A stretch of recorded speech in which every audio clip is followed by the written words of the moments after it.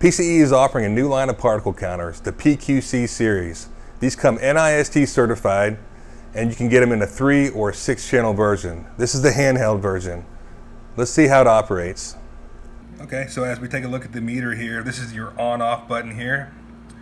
There's a little slot here for your stylus to operate the touch screen.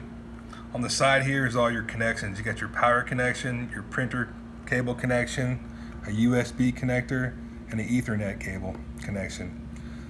Uh, on the back is where the battery compartment is. There's also a little kickstand here. And here's your tripod, your tripod port right here. And then you also have on top of the meter, you have your temperature and humidity probe, which comes standard on the PQC10, but it's an accessory on other models. And here's your air intake.